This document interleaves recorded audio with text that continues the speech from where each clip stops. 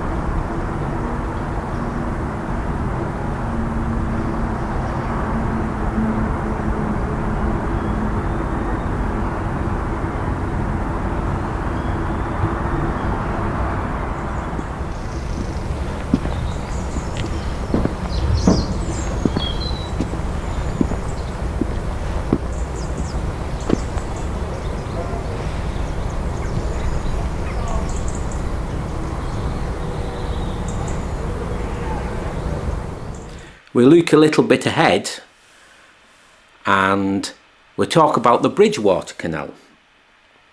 Now the Duke of Bridgewater he wanted to provide coal or did provide coal to these emerging places you know Manchester and all the surrounding areas he had to supply coal but the thing is in those days there was no roads as such, it was all rough terrain and it was horse and cart what they used to put coal in. Very slow method and basically couldn't keep up with demand. So, he had a little bit of a thought, got a few uh, designers in and that as well and um, they come up with the Bridgewater Canal. But that was the easy part for me, doing the Bridgewater Canal it was all the other bits at a place called Worsley and or Worsley Delph where the mines were what the Duke of Bridgewater owned. Now I've, my dad was a miner and I've always just thought of mines, lifts, going down to the coal face and that's it. Nothing like that then. Dear me, nothing at all. These mines were quite unique there was 46 miles of subterranean canal. And down there was a lot of coal but it was a very inefficient way of trying to get it. So they come up with a few ideas. And the most successful idea was this starvationer now these boats were narrow. They were the forerunners uh, for the working boats and the narrow boats you know today. People took their ideas from this and without the starvationers it's unlikely that we had, we'd have the canal network we have today. So they're considered to be of extreme importance in the history of canals.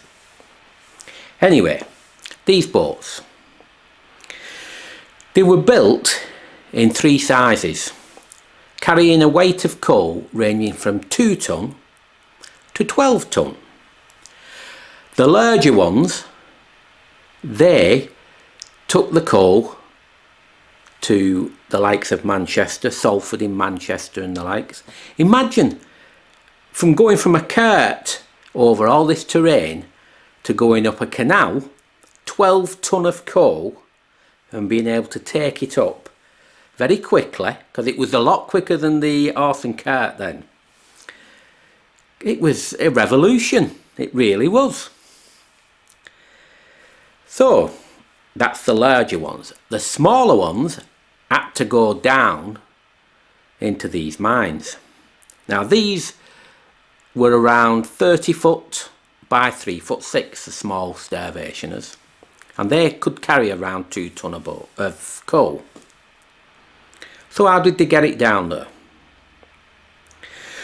Well, these canals, what they had in, in the design, it was on two levels inside and there was an inclined plane as well. So this all seems so advanced when you think we're in the 1760s. Uh, these boats, they had to be taken down to the coal face or very close. And men and young boys used to put these boats together, put a few together, go to the mine, burning mine, no electric, candle light, absolutely the thought of what the conditions must be like, oh dear me. But they had to get them down. How did they do it? Well, they had the, the boats all together, but in the roof of, uh, of these mines, there was rings.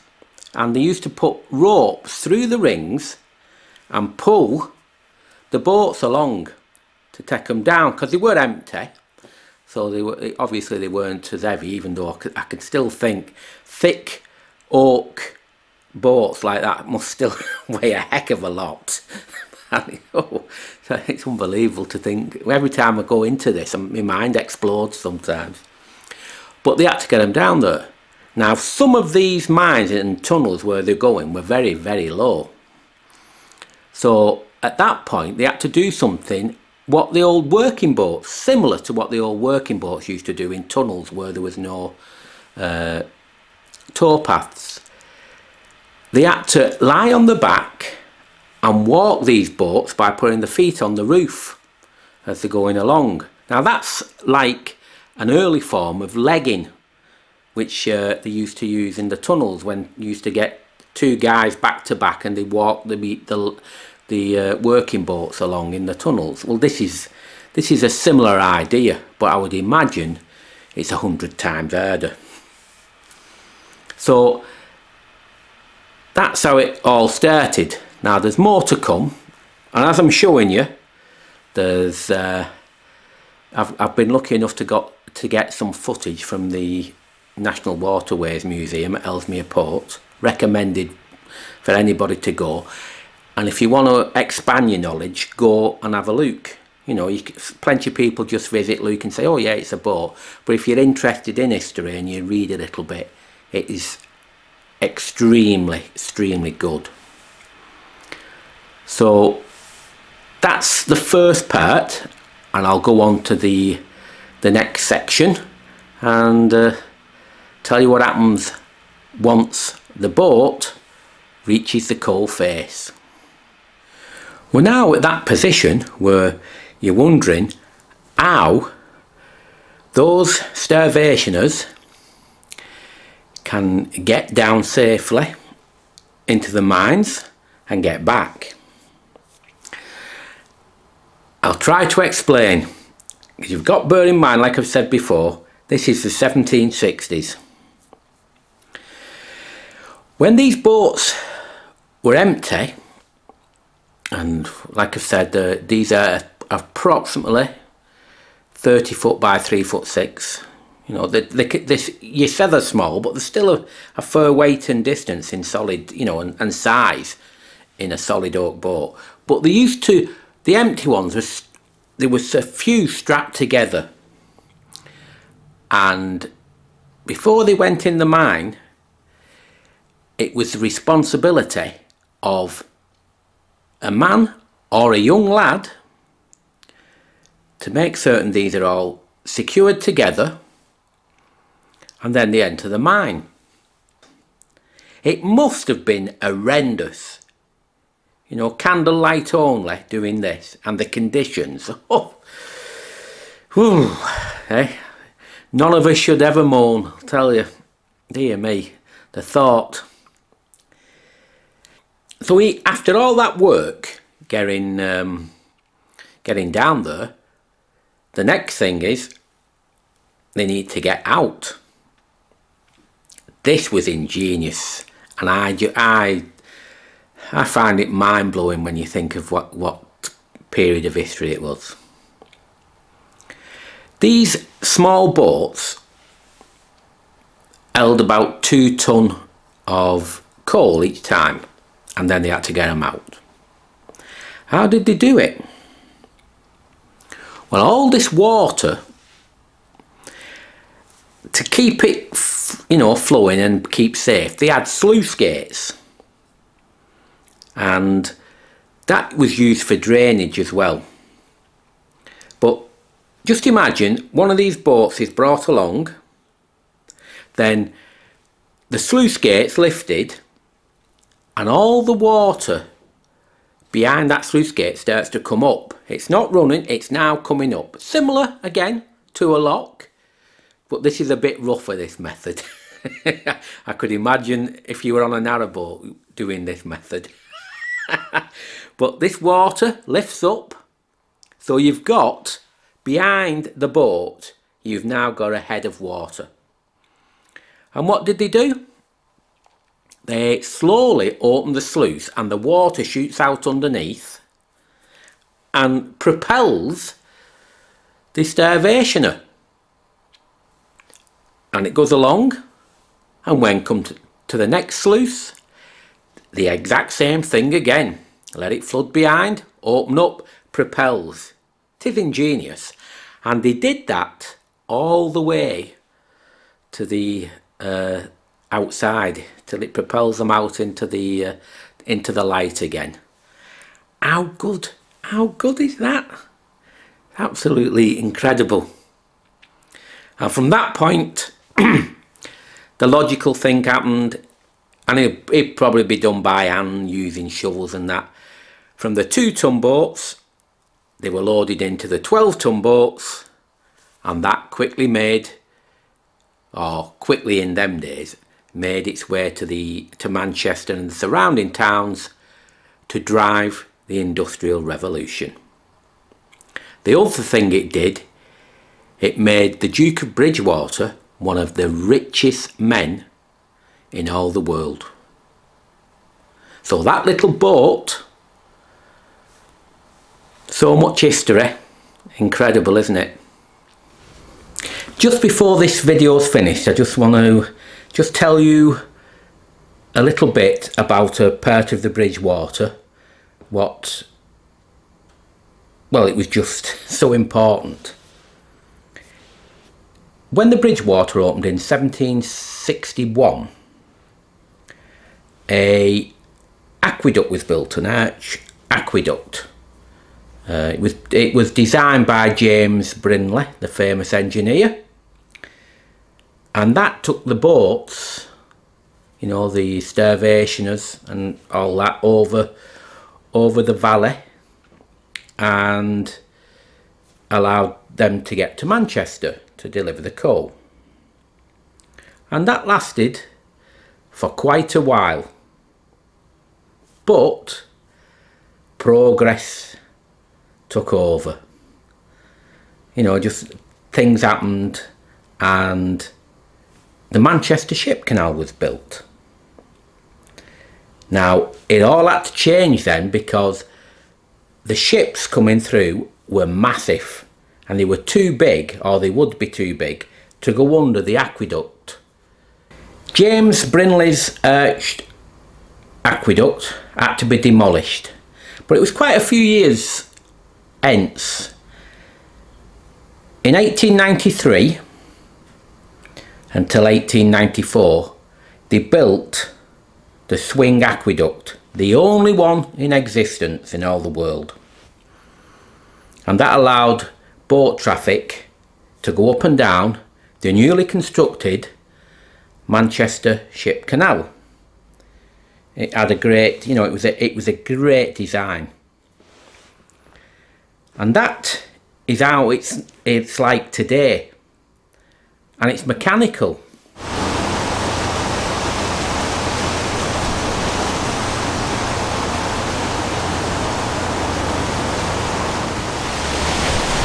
It's the Barton Swing Bridge swinging back. So anytime soon, hopefully, we'll be crossing.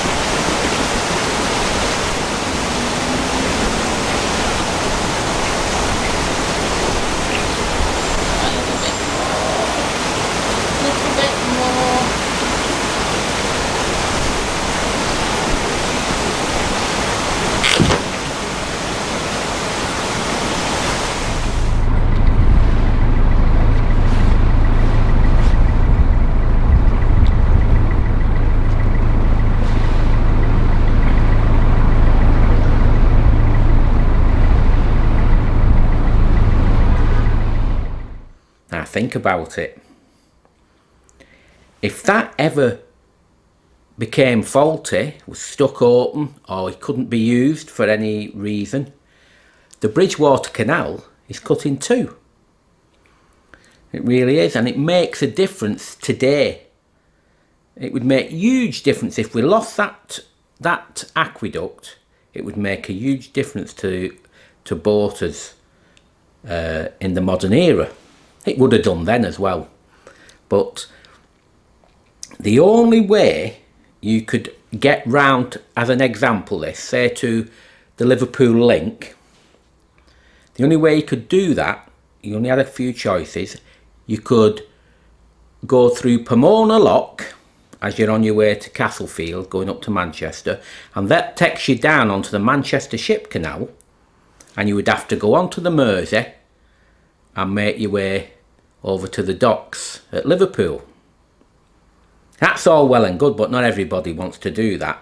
And a narrowboat would have to have a certificate of seaworthiness if it wanted to do that. So it's and you need all your your life jackets, etc., all your radios and everything. So you've got to. It's a lot of messing about. So that's one way you could do it. The other way, which I think the vast majority of people would, would have to do, they would go round, they'd have to go round through Castlefield onto the Rochdale Canal or the Huddersfield Narrows and come straight through into Yorkshire all the way round onto the Leeds Liverpool and come back down onto the uh, Bridgewater towards uh, Wigan. Now, again, that's all well and good, but it, besides it taking quite a long time instead of the that five minute trip, what was what's missing, that little bit would be missing. The problem they'd have there as well is they have restricted uh, narrowboat lengths on the Leeds Liverpool and a few other canals going round. Um, and if your boat is over 60 foot, that's it. There's not much chance really. You're going to be uh, you being unable to go uh, straight round because your boat would be too long. There is a few lengths and all around that area the, the 70 foot very limited 62 foot in a few places and 60 foot can get more or less everywhere on that journey. It says 58 but if you if you put the boat across in a in a wide lock you can get 60 but it, it's it's a bit awkward. So it'd have a huge impact. So I just thought I'd tell you that. That piece of, you know, that construction, that metal construction, I don't know how well maintained it is. If that goes, mega problems. So it's something where I think should have been, um, you know, really looked after because I'd hate it if we ever lost something like that because it would have a huge impact on our cruising routes. Anyway, I just thought I'd push that one in as well so you, you could just try to understand it. I hope the little maps and, and that what we did give you an understanding of that. But that's it. Um, next time I think we're back on pre pre lockdown uh, cruises in the next one because we've still got quite a bit to do there. I've got other plans as well for other vlogs uh, why the uh, cruising is so limited at the moment.